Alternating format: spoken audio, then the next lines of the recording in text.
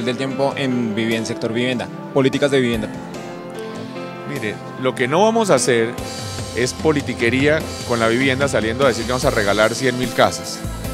Y lo que vamos a hacer va a mostrar que no solo hacemos vivienda, sino hacemos ciudad. En estas, las 100 mil casas, entre otras, van solamente unas 50 mil, pero realmente no se ha comprado terrenos para hacer un gran parque, prácticamente no se ha hecho un solo colegio.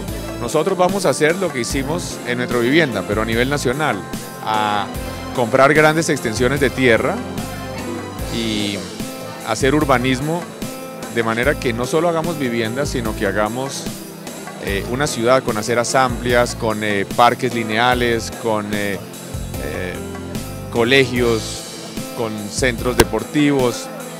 Y también vamos a cambiar la ley para que el Estado tenga la capacidad de exigir que unos terrenos se desarrollen, es decir, que exigir, por ejemplo, se escogen 3.000 hectáreas para desarrollar en un sitio bien ubicado, los propietarios deben aportar sus tierras a una sociedad, los que no quieran aportarlas eh, tendrán que, estarán obligados a venderlas a los otros socios o al gobierno y si no se urbaniza en un lapso de unos cinco años, estas tierras irán a subasta pública.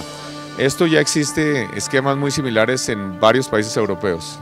En cuanto a los subsidios, ¿a quiénes se va a beneficiar?